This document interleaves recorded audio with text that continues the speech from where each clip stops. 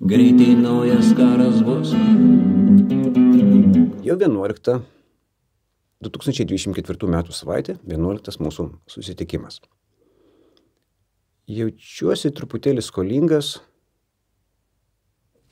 ir vieną paveiksliuką visgi iš Ispanijos pilietinio karo. Matome propagandinį plakatą nacionalistų ir ten jisai sušluota šluoja priešus, ten jie įvardinti bolševikai, masonai, separatistai. Separatistai. Tai baskai ir katalonai, nes viena valstybė, viena tauta, nacionalistai taip, taip suprato Ispaniją. Ir šalia mes matome e, Gerniką, Pablo Picasso paveikslą ir, kaip sakant, nuotrauką iš, iš vietovės. Miestas buvo subombarduotas.